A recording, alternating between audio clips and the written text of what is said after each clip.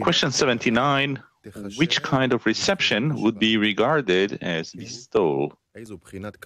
Which kind of reception would be regarded as bestowal? The answer to question 79 receiving only because it gives contentment to the giver. Yes, the created being who's the will to receive alone, that doesn't change. If it receives in order to bestow contentment upon the maker, the giver, then he's called bestowing, bestower. And if it receives in order to be content himself, it's called reception, receiving. It's very simple.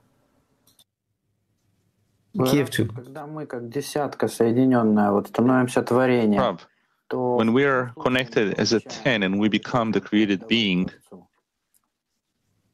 how does it happen that we receive in order to bestow to the Creator? If you're capable of bestowing upon the Creator, then you will receive. It's according to your preparation in bestowal, mutual bestowal towards each other, where you can truly check and see if you can bestow upon each other. Accordingly, you generate a united single force of bestowal to the Creator, and it's called from the love of the created beings to the love of the Lord.